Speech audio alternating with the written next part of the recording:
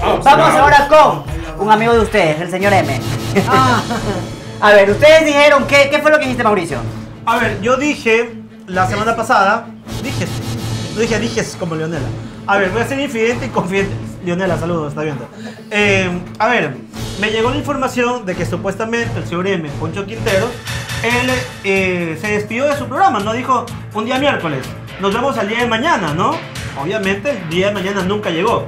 Que supuestamente salió al programa porque supuestamente no le había pagado al productor, a la productora, a la luz, el sonido, etcétera. Todo lo que implica tener un programa de calidad en televisión digital, ¿no? Esa fue la información que me llegó. Hablé con el señor M y el suelto de huesos dijo que él no le debe ni un solo centavo a nadie. Es más, pregúntale a Caterva, a Iván Triviño, a, a un poco de personas que trabajan con él y que él es buena paga. Como yo soy de los reporteros que busca ambas partes, así como tenía esa, esa versión que me llegó, obviamente lo busqué a él. Acto seguido, al siguiente día, te hizo trapo a ti en su programa y a mí también, diciendo que nosotros desinformamos. Ok, que- perfecto. Que cobro 500 dólares por venir a enseñar las tetas. dijo. Vamos a ver en este momento justamente esa parte de la que hacen referencia los chicos 4K, donde el M en su programa de radio los destruyó diciendo que son unos mentirosos. Pero ya vamos a ver quién es el mentiroso realmente. Ruédelo. tipo de calientitos especialmente para Mauricio Altamirano y para Soraya Guerrero, quienes desinformadamente ayer sacaron una nota diciendo que no le pagaba a los camarógrafos, que no pagaba el recibo de la luz. Y de un tono burlesco también que yo tenía en algún momento un me tocó resolver porque soy dueño del negocio, pago personal. Yo no cobro 500 dólares y me voy a rascar las tetas allá. Yo tengo que vender, tengo que presentar, tengo que analizar, tengo que pagar arriendo, recibos, reporteros, cobrar las pautas. Ya. Y ella de, de un tono un poco burlesco, lo repito, dice, ah, sí, ahí tenía su, te- su- él se va y viene 15 días y cambia la temporada y entonces lo que hace es mover el...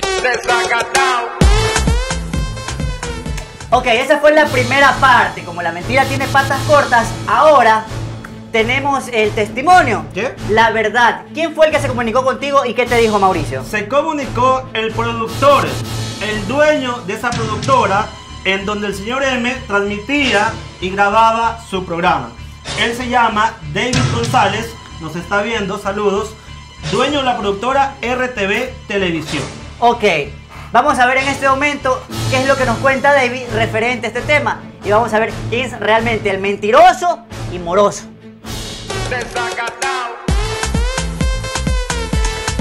El señor M tiene una deuda de 200 dólares con la productora.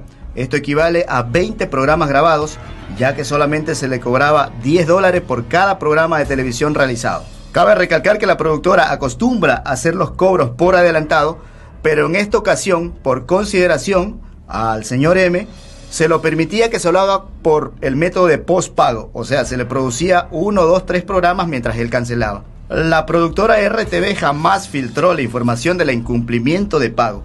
Y si esta vez hablo sobre el valor que adeuda el señor M, es por el motivo que él ha dicho que simple y llanamente ya no nos va a pagar que él no va a pagar el valor de los 200 dólares a la productora porque supuestamente la productora le ha hecho quedar en mal a él haciendo público la deuda que tiene con la productora. Se dice que también eh, en los estudios tenemos retenidos artículos y prendas de los presentadores, los mismos que también enviaré un video mostrando cuáles son las pertenencias que tenían los presentadores aquí en los estudios de RTV Televisión. Se grabó el último programa el 2 de agosto del presente año cuando fue que por órdenes de la directiva decidimos ya no seguir emitiendo el programa mientras el señor M no se ponga al día en los pagos a la productora. Cosa que esperamos una semana, dos semanas, hasta la presente fecha no se ha manifestado.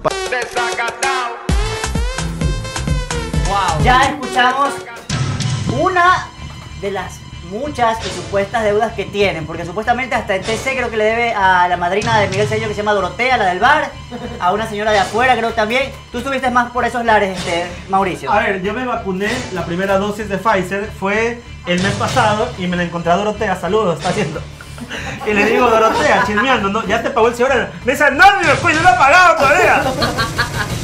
Ojalá que ya le haya pagado, porque desde julio acá ha pasado más de un mes, ¿no? Claro. Bueno, la verdad que. Yo quiero aclarar algo antes de la primero, de a ver, para que no digan que me vengo a rascar las tetas nomás. Ok. Este, primero que él nos trata a nosotros de desinformado. Para hacer una réplica de un comentario de algo que no te gusta, debes de informarte acerca de ver la nota y luego sí sacar una conclusión a que tú quieras. Primero te estás robando un post que no es tuyo, un mensaje que no es, porque lo de el mueble nunca fue para ti.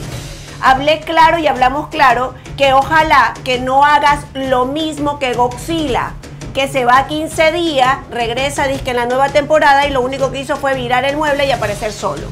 Entonces, para tratar a nosotros de desinformados, primero infórmate tú, hermano. ¿Sabes? Es turro porque yo trabajé con el señor M. Sé algunas cosas, podría decirlas, pero en esta ocasión te metiste conmigo, con mi credibilidad. A ver, yo me manejo de una forma diferente, al menos en las dos semanas que estuve aquí a cargo del programa, ¿no? La información me llegó. Yo al ser otro lo hubiera lanzado, pero te pregunté a ti para tener tu versión. Tú me contaste tu versión que no coincide con la versión inicial que me llegó, ¿no? Luego el señor solito a mí me busca, el dueño de la productora, porque él vio el programa Calentitos, que es el más visto de todo el país, ¿no? Él me dice, Cuy, no estás equivocado. Esto pasó y me sorprende que el señor M, que se jacta de ser el super empresario, que KFC lo pauta, que los auspicia McDonald's. McDonald's, que los auspicia Chevy, Chevy no sé cuánto, una marca de vehículos. Cherry, Cherry. Cherry. O sea, me sorprende que él teniendo plata no le pague a este señor 10 dólares, con el perdón de todos, ¿no? Miserables. Con el perdón de 10 la productora. con el pro- Perdón de la productora. Miserables 10 latas por cada programa. A ver, yo creo que ninguna productora debería cobrarte 10 dólares. Sí, o sea, parece es, impresionante. personaje- Ojo, a ver, pero Enti- depende de la calidad también. entiendo que ellos estoy lo viendo eso, hacen. pago 5 por eso. No, no, a ver. No, igual. No, sí le empecé el No, trabajo o sea, porque es un no. gran equipo. Es un productor, equipo, luz, internet, Y el tiempo. aire, todo, ¿no? Claro. Yo entiendo que lo hacían por parcería, por apoyarlo. Pero él aparentemente queda como un mal agradecido. Porque me cuenta, según David González me cuenta, de que el señor M supuestamente no le quiere pagar porque alega que, que, en, ese, que en esa productora se le quedaron algunas... Oye, son mis zapatos, devuélveme. Que alega, déjeme terminar, no, no, yo me voy, yo me voy. A ver, no, él alega, supuestamente el señor M alega, que en esa productora se le quedaron algunas pertenencias. Y como la productora no le quiere devolver las pertenencias, el señor M no quiere, no quiere pagar lo que supuestamente debe. Ok. Perfecto, vamos a ver. Dele, yo A ver, mira. Primero creo que él, mm, para mí, no, no aclaró nada. O sea, se dicen tantas cosas de ti que no aclaraste nada, porque lo que veo es un hombre atacando y atacando mal. Porque tú no puedes decir lo que tú dijiste. O sea, tú no puedes decir que Soraya viene aquí a rascársela.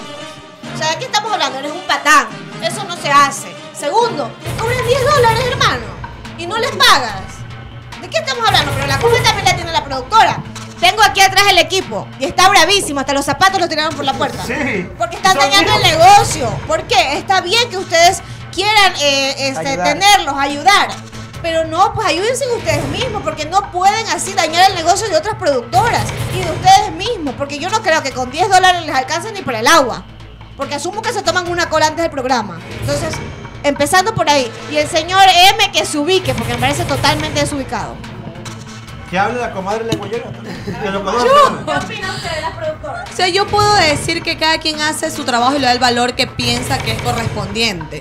También puedo decir que sí está mal como que perjudicar con tu trabajo el esfuerzo de las demás personas, porque de esa manera se daña el trabajo y la fuente de empleo. Yo pienso y considero que por eso es que estamos como estamos, porque regalamos nuestro trabajo, porque pensamos que, ay, es por esta ocasión.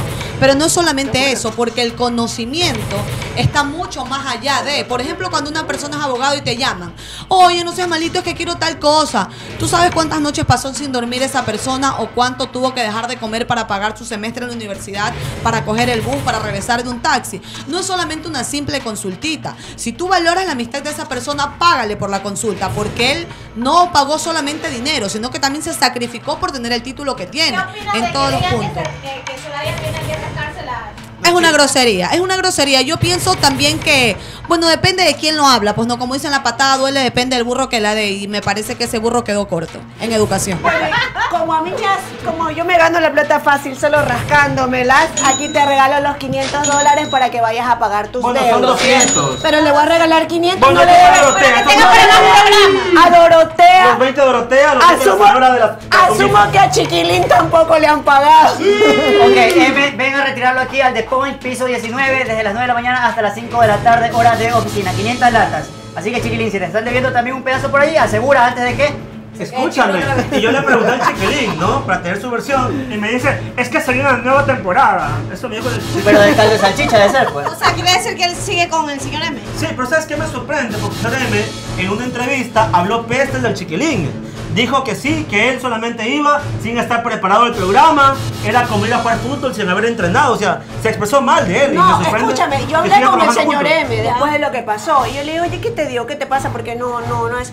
Me dice, no, flaca, tú sabes que el 30 yo eh, voy a lanzar mi programa y me guindé de ustedes para que ustedes puedan hacer O sea, publicidad. de- Sí, de mis tetas siguiendo para que haga publicidad y puedan hablar Sonar. de él, generar y eso le, le favorece. ¿Sabes qué? Por eso me sorprende, porque cuando él estuvo aquí tuvo buena onda con todos. Claro. Es lo que yo vi aquí, pues ahora que, que lo escucho, escucho Y totalmente. que lo de las tetas no era para mí, que era para el cuy. No sabía que no tenía tetas. tengo, todavía no tengo. Tetilla tiene, va por el No, Recién se está pintando las uñas. Te cuento, Soraya. A ver, cuénteme. Al M se le paró. ¡Uy!